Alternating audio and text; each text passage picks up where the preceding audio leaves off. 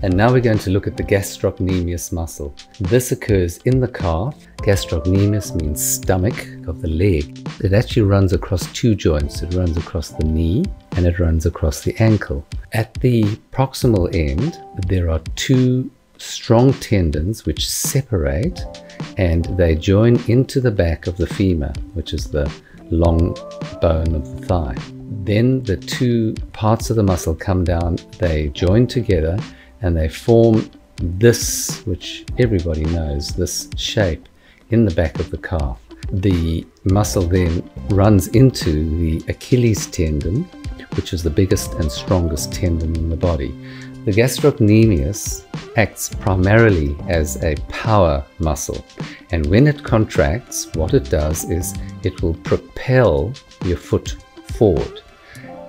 During normal walking, the gastrocnemius actually doesn't add a lot to your normal simple quiet gait. But the moment you leap forward run jump it becomes utterly vital and helps to propel you forward.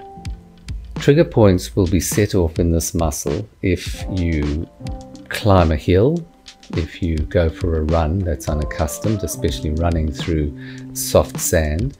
If you wear high heel shoes and if you rest your foot on a footrest where there's pressure on your calf, that'll often set off triggers in this muscle. There are four trigger points in the gastrocnemius.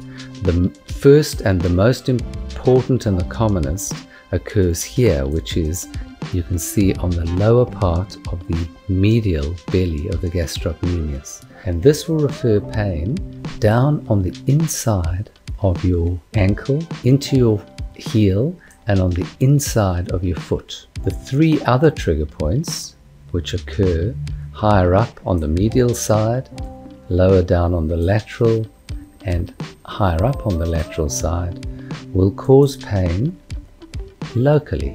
So you will feel pain in this area where the trigger points occur. So you can see the two patterns are completely different. If you found this video useful and want to see more like this, make sure you subscribe below and don't forget to hit the notification bell.